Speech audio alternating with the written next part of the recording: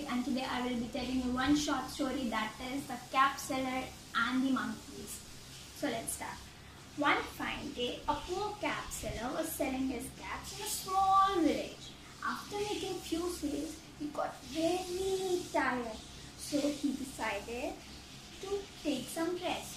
So he kept aside his basket full of caps and he fell asleep under a big tree. There were many monkeys sitting on that big tree. They saw a basket full of beautiful caps.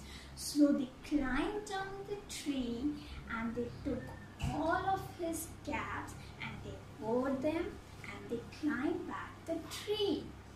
After some time, the cap seller woke up and he was very shocked to see his basket empty. Where are my caps?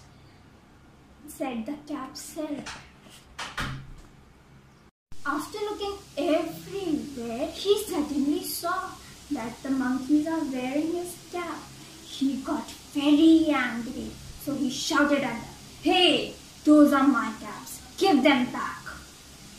And the monkeys copied him. Even they shouted back at the cap seller. So this gave him an idea. He suddenly took his cap and threw on the ground. And after that, even the monkeys copied the cap seller uh, and even they took their caps and they threw it away on the ground.